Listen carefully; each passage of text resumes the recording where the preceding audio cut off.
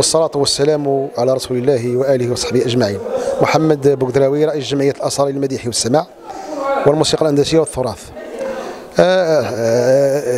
ارتأت أن, أن, أن, أن الجمعية أن تحتفي بليلة مباركة ليلة القدر بشراكة مع مديرية الثقافة.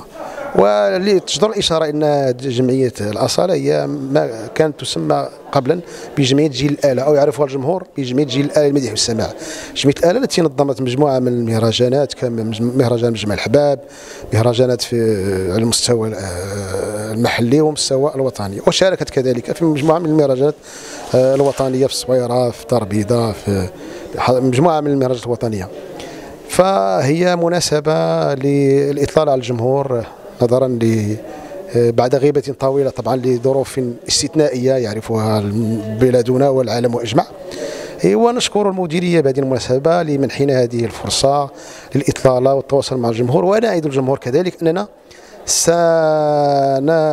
سن سنعمل على إعداد برامج مستقبلية ومهرجانات مستقبلية كذلك إن شاء الله في العاجل القريب وبعد أن يرفع الله عنا هذا الوباء سنعمل إن شاء الله على إقرار برنامج أو مهرجان خاص بأسافي في هذا في هذا التراث الجميل المديح والسماع والتراث الأندلسي. إن شاء الله سيكون وسنعد إن شاء الله أن يكون مهرجانا موسميا إن شاء الله بحول قوته بأسف يخصها وميزها كمجموعة من المدن. ونشكركم كذلك أنتم المنابر اللي تعاملتوا معنا عناء هذا الشيء ونتمنى أن يتواصل التعاون معنا إن شاء الله. وشكرا شكرا جزيلا. السلام عليكم ورحمة الله تعالى وبركاته. معكم يوسف كرام عن جمعية الأصالة للمديح والسماع والموسيقى الأندلسية والتراث بمدينة أسفي. اولا بعدا من هذا المنبر كنحيي كل من ساهم في إحياء هذه السهره هذه من قريب أو من بعيد وعلى رأسهم المديرية الإقليمية للثقافة بمدينة آسفي اللي إحنا نظمنا هذه السهره هذه بتعاون معها. كنشكروهم فردا فردا يعني من الموظف الكبير للموظف الصغير. آه، لأن هاد الناس هذوما تيبخلوا على الناس بالمجهودات ديالهم لا من تبسيط المساطير ولا من ناحية الفضاءات. فين ما حطينا عليهم الايد ديالنا كنلقاوهم متواجدين ومآمنين بالقدرات ديالنا مآمنين بال... بالتراث اللي حنا بصدد حمايته من الاندثار في هذه المدينة هذه وكنحاولوا نرجعوا البريق ديالو ليها البريق ديالها عن طريقه.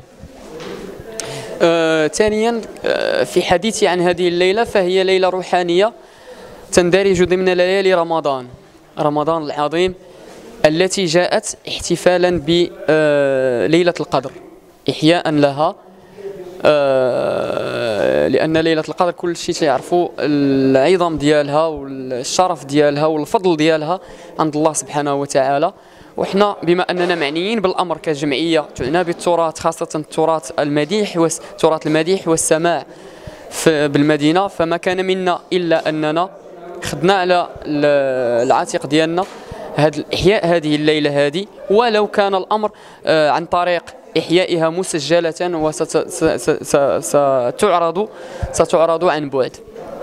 ولكن هي جسر لالتقائنا بالجمهور ولتواصلنا معه. فبصراحة فقد طال الشوق طال شوقنا لجمهورنا الحبيب منذ منذ منذ منذ 2020 بداية سنة 2020 كانت لنا اخر اخر آخر آه، سهرة.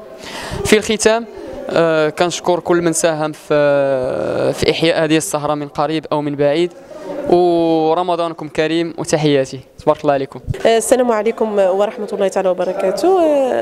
رمضان مبارك سعيد اولا. إحنا اليوم يعني كنا في واحد الحفل اللي هو ديني المنظم من طرف جمعية الأصالة. كنت أنا من آه، المشاركين بهذا الحفل بصفتي فنانة في صنف الملحون.